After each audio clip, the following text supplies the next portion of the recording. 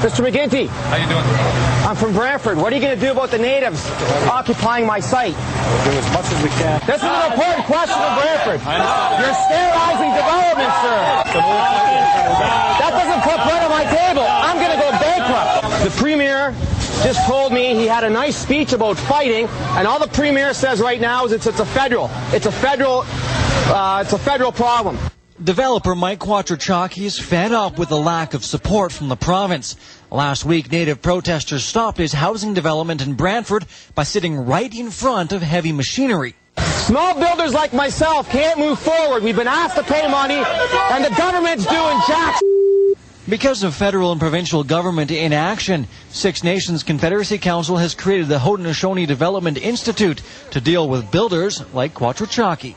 Have gone out and we have tried to come up with something that's going to provide positive solutions for everyone. We're not relying on the province, we're not relying on the federal government to get this uh, problem solved.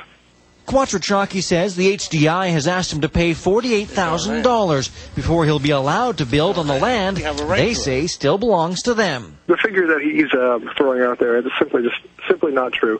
What we try to do is ask him to come up with a commercially feasible and reasonable way to let him go forward. And we're trying to make it uh, so he can go off and sell these houses in the future. Quattrochaki refuses to pay any money and plans to continue building, but he knows it won't be long before construction is stopped again.